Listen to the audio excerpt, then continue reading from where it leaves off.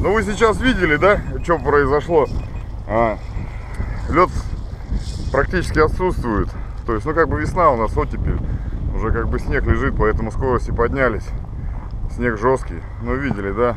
Бруствер не получилось прорубить. Ну машинка легла маленько на бок. Ну пойдемте посмотрим, что получилось. А это что такое?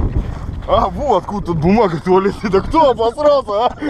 Валерка, ты что ли, блядь? Нихера себе. Сроду не было там такого. Спички съехались. Все целое.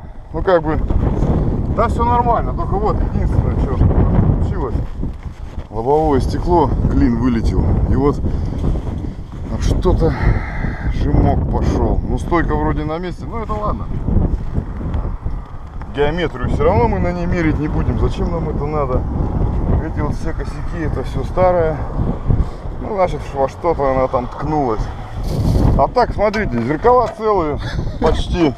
Ага, фиг там. Ну ладно, пружинка же стоит, все на месте. Пойдет. Крылья целые, двери практически. Вот только номер маленько, нет чуть-чуть. Ну это, ай, ерунда. Открывается? Ёпта.